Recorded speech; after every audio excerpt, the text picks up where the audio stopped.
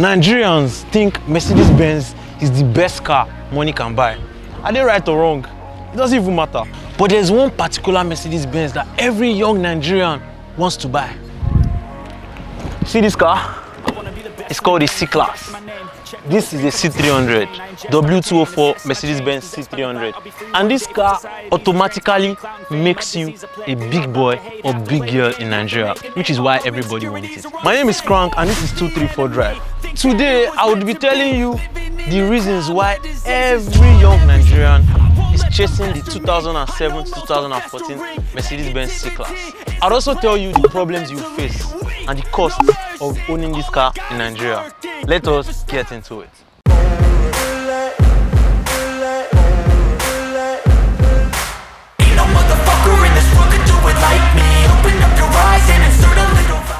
The number one reason why Emeka, Shade, Lara, Ahmed, Abdul, and every other person wants this car is because of its intimidating look.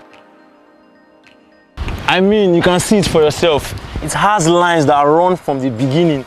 This line actually continues to the back. See the wheel arc, the curves, the way it stands. This car is now small. It's a compact um, entry-level luxury sedan. So once you come out of it, it feels like you have like a toy. Like it gives you that feeling of dominance. Like you are dominating a mad car. Do you get? So this car makes you feel good about yourself. Anywhere it goes, everybody goes just they look am because it's very intimidating and that is why everybody wants this car. The second reason is that the interior is upscale and it smells sweet. Once you open the interior, the first thing you notice is how well planned out, how well thought out this interior is. Like they planned this interior from start to finish. The car has a look on the inside. Everything is just in the right place. Wooden trim. The material is upscale, like it cannot spoil. Do you get to? Interior is very, very much. Once you enter, you can never forget an experience in the C300. Try it. If you're a guy or a girl, carry a baby in your car or carry your male friend. They will never forget you. They would never forget they sat in the C300 for the first time in their lives because because there's something about the interior that just makes you remember it. The seat has a smell. Imagine a car that has a smell. Like every C300 has that smell. Every Mercedes Benz actually, but it's very profound on C300. I think C300 made it known that "Hmm, this is what Benz have been doing. They have a smell in their car. So yeah, once people enter this car, they never forget it. Especially when they sit down in the front seat, not the back seat. I'll tell you why. So once you enter, as a driver, you you feel the steering in your face. Steering is in your face. It's like the guy is telling you, let's drive, let's drive, let's drive, let's drive. And you have your infotainment here. This infotainment has everything you need. Has Bluetooth connectivity. You can connect your phone. You can pick up calls. You can do stuff. It is not Android. You can't watch um, stuff from your phone. It's just audio connection. Connect with any phone via Bluetooth. Then inside here, there's um, the aux connection. If you want to connect the aux cord, you do it from here. I don't know. It doesn't make sense for me to open this place and connect something, but I don't know why Mercedes-Benz did that. Here you have where you can keep stuff. It's not so big. It's not so big. It's just small. You can't keep anybody here. Cup holders to hold your stuff in place. Ah, look at the transmission. Transmission stick doesn't really befit this car. It looks older than the car.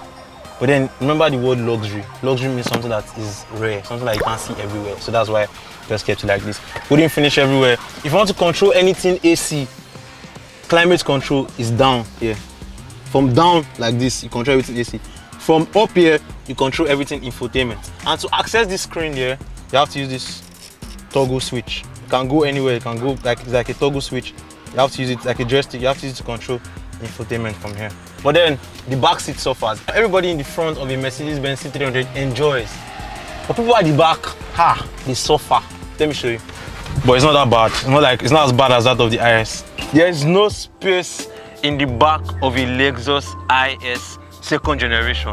But then I can't even sit in the middle, sha. I can't even dare sit in the middle because I'll just be like this all through because of this hump. So I have to do like this. And once I do like this, I'm affecting every other person. So the best way to park people in this car is two in front, two at the back. Once you just press this, long press this button, the boot pops off. Yeah. Can keep stuff in your boot. There's space to keep stuff in the boot. Very practical too. Point number three is that this car drives like a true Mercedes. How does a true Mercedes car drive? A true Mercedes car has enough power to push, combined with handling. So once you enter corners at high speed, the car will not throw you off the road like all these regular brands we drive. That once you're on high speed, the car will become light, the car will go up. A true Mercedes car is going to get more stability, and this car does that. Now I turn the full wheel to the right. Look at the stance. It's looking like the car is tilting. Just imagine now you want to fall down and somebody is pushing you to the right. You now put your other leg and just stand like this just to get balance. So this car is very balanced, a well thought out ride, balanced ride. So this car uses a V6 engine that has reasonable amount of power, about 220 horsepower, and um, it is mated to a six-speed transmission that is quick. The C300 has a spirited drive, like once you are driving it, you feel what you're doing from there. So everything in place on this car makes you enjoy the car and young people like to enjoy when they drive. They like to speed and stop, they like to be in control. But don't forget that apart from the C300, there's a more powerful one that is the C350. That one is faster. If you want more speed, go for the C350. If you want to speed like a Lamborghini, then you should buy the C63 AMG. The fourth reason why young people love this car is because the C300 is very, very easy to upgrade. Young people love cars they can upgrade. What's upgrade? Upgrade is that thing you do when you take your car of 2005, you make it look like a 2012 model, you upgrade it or you facelift it. Even though I'm not a big fan of upgrades because it just seems like stress. You are trying to make your 2005 car look like 2010 car, but it's fine. I support it, but I won't do it on every type of car. But on the C300, it's very easy to do, and I like some I have seen. If it's going to be worth it, please do it. Let me show you some upgrades you can do on this car. So look at this car, for example, this car did not come with this grill. The owner bought it and put it on it.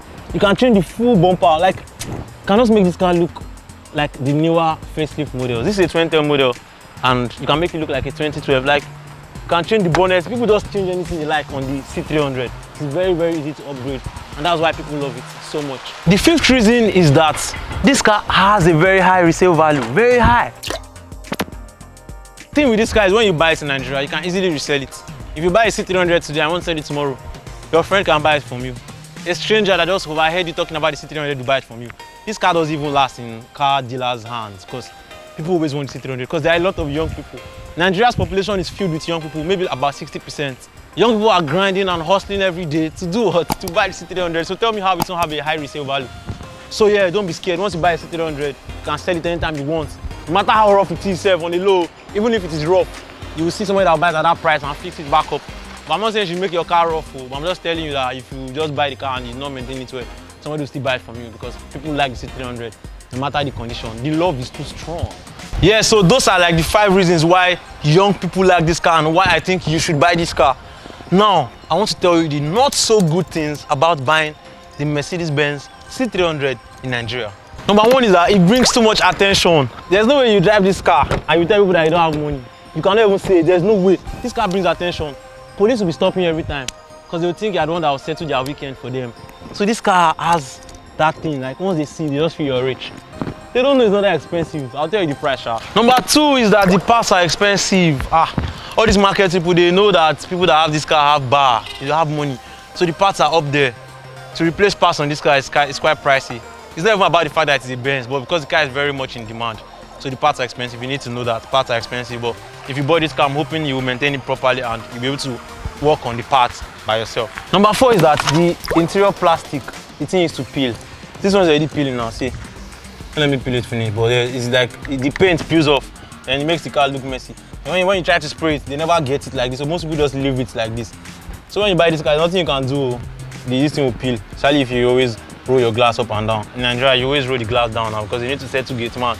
You need to ask for directions. You need to do a lot of things. So the um, buttons will peel, and I don't like that. I don't like that. I don't. I don't. I don't like that. But yeah, it's a small issue. It's a small issue. The fifth issue with this car is that the car is very close to the ground. You see it? Very, very close to the ground.